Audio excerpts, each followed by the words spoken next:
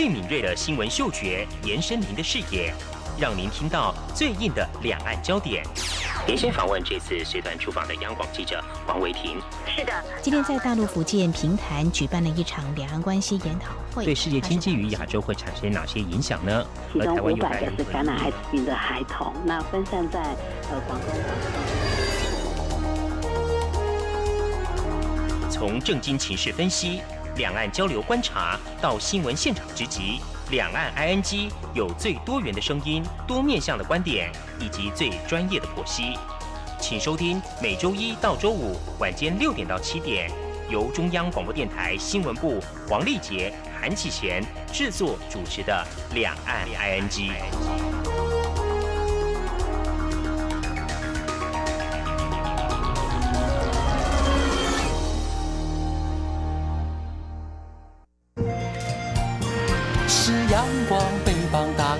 世界之窗；是阳光，翅膀环绕着地球飞翔。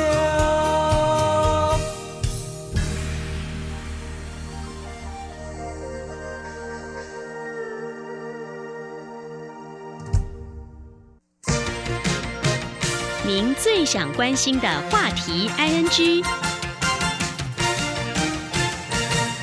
这里是中央广播电台，听众朋友现在所收听的节目是《两岸安居》。接下来要透过和中央社驻北京记者陈嘉伦连线，来关注四个议题跟讯息，包括台湾今年将连续第三年可能会无法参加世界卫生大会 （WHA）。其次是美中贸易持续谈判之际，美国将从十号起对中国大陆加征新一波的关税。此外，在中国大陆网络大 V 的眼中，台湾有哪些迷人的风光？至于为何今年在中国大陆发表言论尺度相较以往较为紧缩呢？上一题，我们今天节目中请嘉伦来我们谈谈您第一手的采访观察，非常欢迎嘉伦，您好。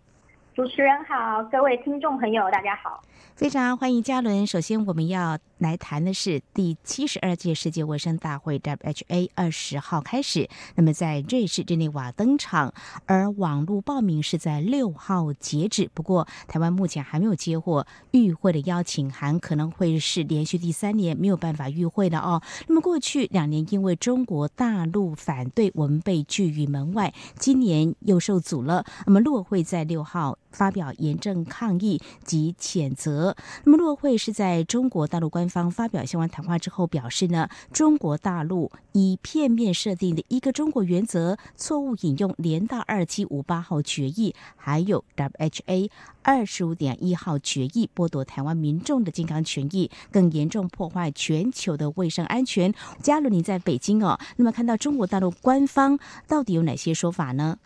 其实。中国官方呢，他们今年呢，当然态度还是一样，就是不让台湾参与。他们提到的当然还是一贯一中原则。呃，那一天就是六号，在网络报名要截止那一天呢，中国外交部在记者会上就已经先透露了这样的风声哦。他们除了以一中原则不让台湾参与之外哦，还宣称。民进党呢，呃，当局哦，所谓不让台湾参加 WHA 将导致的防疫体系出现缺口的说法哦，是谎言和借口这样子哦，他们还做了这样的指控，所以这些呢传回台湾之后，当然就会让呃政府感到非常的错愕嘛，为什么可以用这种方式来扬称说不参加 WHA 也不会影响台湾的呃整个国际的防疫体系？嗯哼，是。对此呢，呃，蔡英文总统表示哦，中国越是打压设定路障哦，不让我们加入，会让呃台湾人更不满，国际社会也会对中国大陆这种态度越来越不满。而而卫福部长陈时中呢，呃，仍会率团到瑞士日内瓦啊，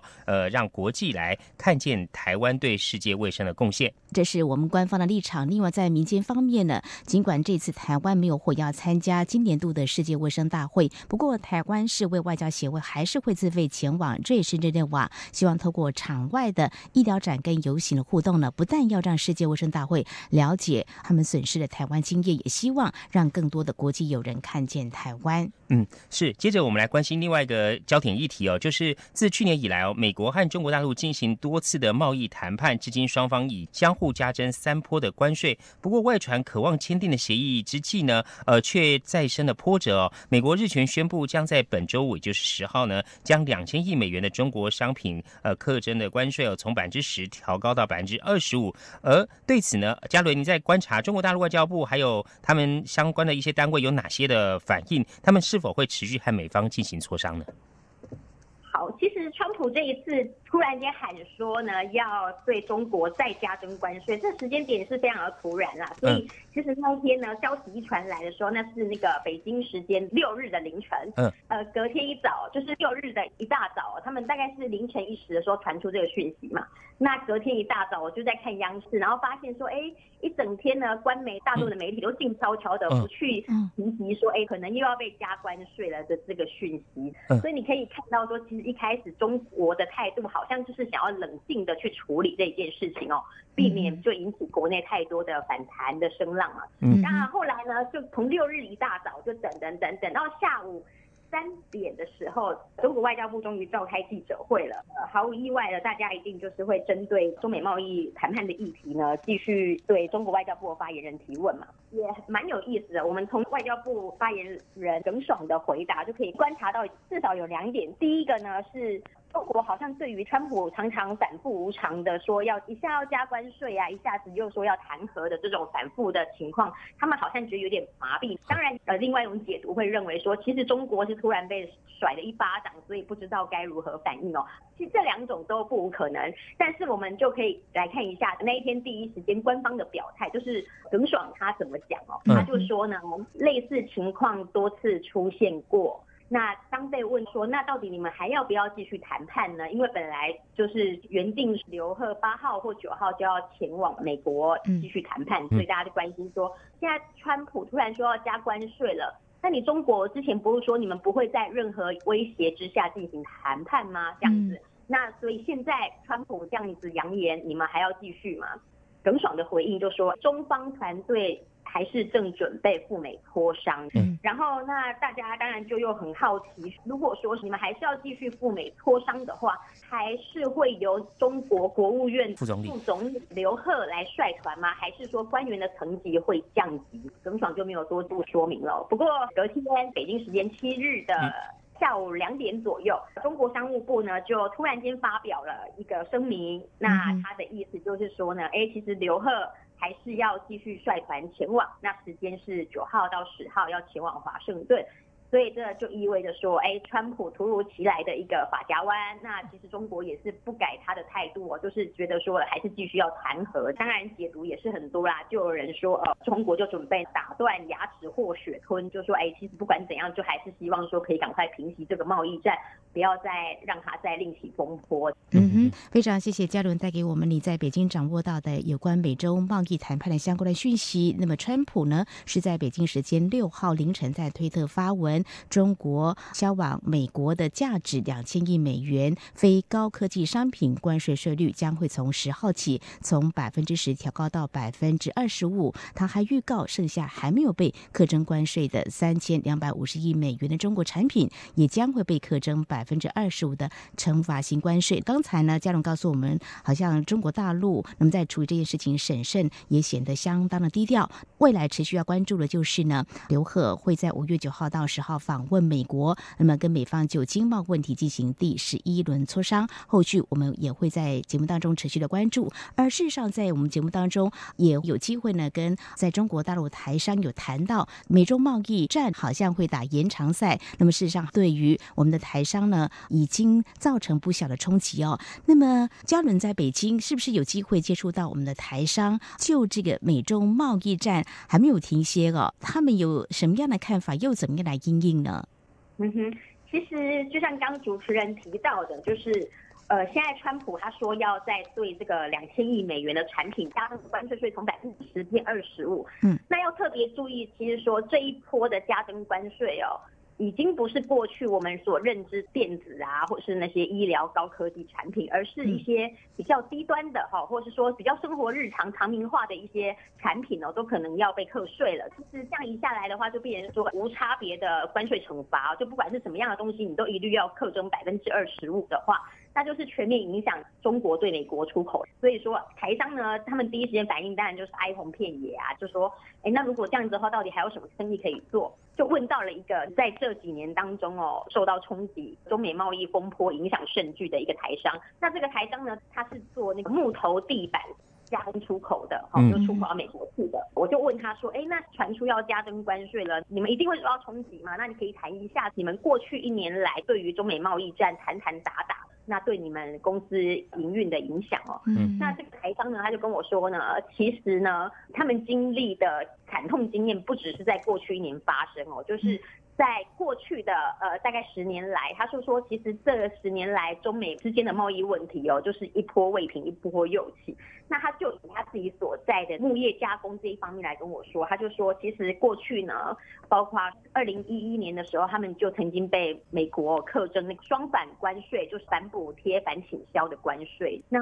他说反倾销税率会比这种什么二十五趴都还高，通常都是四五十或是一百两百，那个都有可能。他就说，其实那个时候就已经冲击一波了。二零一八年的中美贸易战呢，当然又是一波又一波。再来的话，他还跟我提到说，像今年三月啊，美国商务部又说要对这些中国进口的木质橱柜还有洗手盆展开双反调查。那他就说，其实这些呃利空消息一直在市场传散哦。对他们的打击，他们就说其实早就生意就已经很难做了这样子。那他们更说，哎，这样子一直加征关税下来哦，他们其实早就已经研判说，二零一九年的美国市场呢是已经做不了了，是。嗯。他提到说，就是因为大家知道，像这种每次这种关税惩罚嘛，嗯，他其实买单的一定都是客户，不会是出口的业者这边。那所以客户当他知道说，哎，我们要去承担这样子的关税之后，他当然就会开始砍单嘛，就说。那我们去找一些进口替代哦，比方说去找那个呃东南亚的越南啊、柬埔寨啊等等，他们进口的东西。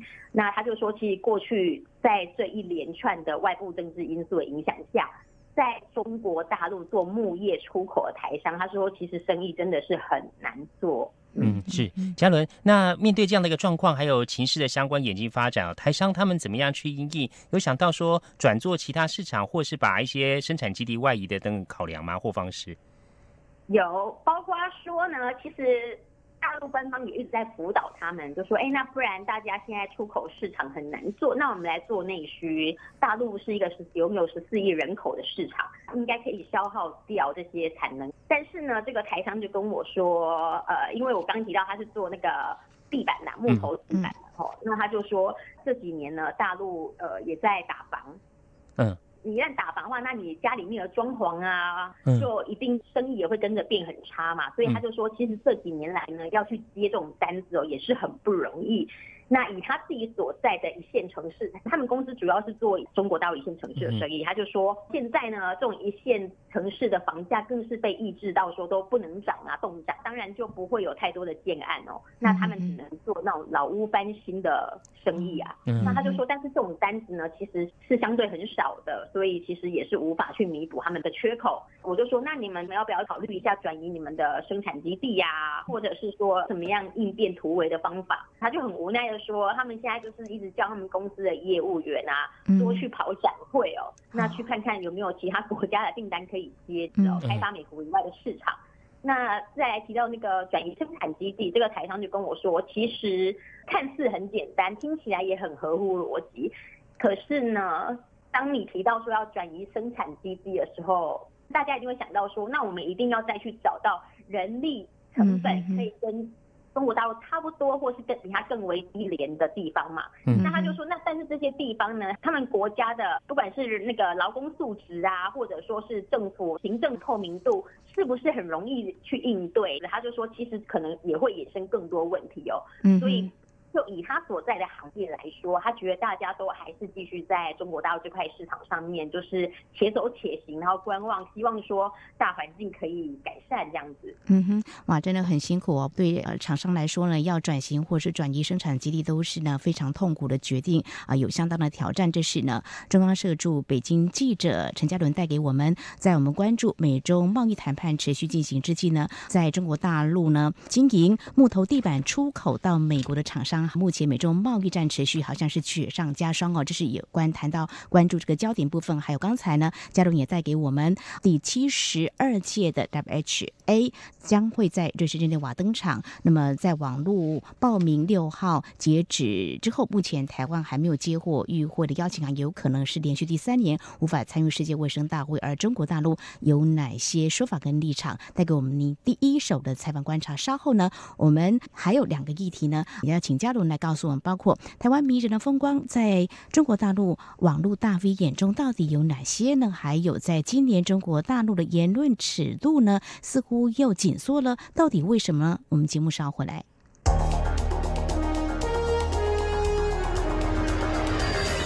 最敏锐的新闻嗅觉，延伸您的视野，让您听到最硬的两岸焦点。连线访问这次随团出访的央广记者王维婷。是的，今天在大陆福建平潭举办了一场两岸关系研讨会，对世界经济与亚洲会产生哪些影响呢？其中五百个是感染艾滋病的孩童，那分散在呃广东。从政经情势分析。两岸交流观察到新闻现场直击，两岸 ING 有最多元的声音、多面向的观点以及最专业的剖析，请收听每周一到周五晚间六点到七点，由中央广播电台新闻部黄丽杰、韩启贤制作主持的《两岸 ING》。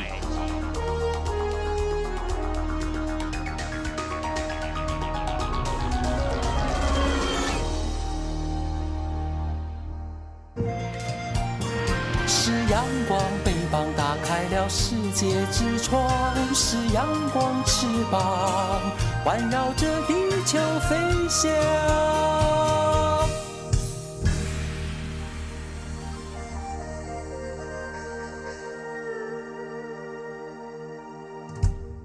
这里是中央广播电台，您现在所收听的节目是两岸居。我们今天节目中是访问到装设驻北京记者陈嘉伦。接着要请教嘉伦哦，就是台旅会在北京是有办事处来推广台湾的观光景点哦。在去年透过网络大 V 前来领略感受，而稍后呢，在十一号呢，也会有另外一波这种网络微博的达人团呢，也会赴台旅游。我们想请嘉伦帮我们说明一下，就是去年这个网络大 V 团他们前来台湾领略。感受台湾的一些景点呢，他们有哪些的发应？然后后续效应又是怎么样子呢？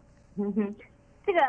新浪微博大 V 团，他们去年到台湾来，那一共是有十个大 V。嗯，那那一天呢，在台旅会北京办事处九周年庆的现场，他们就也做了分享。那比较让我觉得说意外的是，哎，这十位大 V 到台湾去玩的时候，短短七天哦。一共创下了二点三亿人次的阅读量，也就是说，哇，有那么多的他们的粉丝在上面一直围观他们在台湾玩的整个过程。那我就去找了这个大 V 来谈哦，我就找了一个专门在写历史类文章的大 V，我就问他说，哎，你可不可以跟我们聊一下，就是说，哎，到底台大陆的粉丝们对台湾的哪一些议题比较有兴趣啊？是美食呢，还是说我们那个很迷人、很精致的风光？但他就跟我说，其实他发现大陆民众对于这些美食啊、美景啊，其实相对来说是感觉有点呃。相较来说，他们的兴趣不是那么高，反而是他随手拍、随手 PO 的一些台湾的街景啊，或者是台湾民众呃怎么样通勤上班的这些照片哦，会让大陆民众呢特别有感。我就请他再具体说明，他就说，呃，有一天呢，他就一大早到了台北捷运，那那一天好像是早上七八点，原本应该是通勤高峰嘛，那他就拍了一下，就说，哎，其实人也蛮少的，他就上传了。结果没想到大陆民众呢就在下面留言说，哦。为什么会这样？为什么他们捷运的人会跟我们这边地铁的人通勤高峰会差那么多？这样，那大家就开始各种讨论啊，就说，哎，是不是因为台北呢没有禁止摩托车上路啊，所以大家都骑着小绵羊去上班了？那也有很多人就羡慕说，哎，在台北生活好像比较惬意哦，不会像在北京、上海那么拥挤这样的时候。那这个研金生就是这个微博大 V，他就跟我说，其实，呢大陆民众最好奇的呢，竟然会是这种台湾很平。凡无奇的日常生活，他就说这一点是让他觉得比较意外的，因为他本来也一直想说，那他到台湾来一定要多拍一些风景照啊，或是美食照啊。但是他发现说，哎，其实民众对于这些呃台湾人是怎么样过生活的，他们反而会更关注。那台旅会北京办事处的主任哦，嗯洪东涛事后呢，呃，我就问他说，哎，嗯是不是有这样的现象？那您怎么看？嗯他就跟我说，具体反映在推广台湾旅游的过程中，他们也发现说，大陆这些出境到台湾玩的游客、哦。对于体验当地生活文化的需求哦，有一直在成长的趋势哦，不只是自由行的民众会有这样的需求，包括说团客，嗯呃，陆客团，他们到台湾去的时候，他们现在也希望说，是不是可以弹性的安排旅游，不要就是嗯。行程就是那种一成不变的到那种景区啦，或是说去到那一种大型的卖场啊去参观啊，嗯去买东西这样子。他们希望说可以第一线的更贴近台湾民众这样子。嗯哼，也的确呢，嗯，这样的反应呢，呃，有一些数字可以做一些印证啊，包括在去年度呢，其实中国大陆到台湾的游客呢还有两百多万人次哦。另外呢，我们也开放了更多的自由行的这个城市，所以呢，非常欢迎中国大陆的民众呢有机会呢到台湾来看看我们台湾的日常生活，也许跟中国大陆您所待的地方呢是很不同的。那么这些呢，您看起来可能会觉得稀松平常，不过呢，呃，却觉得还挺有意思的。好，两相对照呢，我们现在来谈的是另外一个部分哦。很多中国大陆年轻学生到台湾来哦，不管是就读大学，或是短期的研修，以及研究所，或者是上博士班，他们都会感觉在台湾呢上网是非常的方便的，还有老师形容说是很舒服的。不过在中国大陆可就不是这样子的哦。我们关注中国大陆这几年来，官方似乎更严格的管控言论。那么有个数据呢，有人报道就说，光是呢，呃，习近平上任大概三年左右，就超过一万三千的网站呢被封锁了。当然这几年还持续有相当多的一些不同方式的管控言论的做法。而今年适逢五四运动百年、六四天安门事件三十周年，在中国大陆不晓得呃是不是可以观察到说，中国大陆是不是采取更紧缩的一些做法？他们可能出现哪些情况呢？嘉伦，嗯哼，今年呢，当然管制言论的动作会更大，因为今年是中国的敏感年的大集合嘛。嗯除了刚刚主持人提到的以外呢，还有今年也是中共建政七十周年哦，还有太阳花雨伞运动五周年，各种敏感的节日哦，都在呃今年逢五逢十。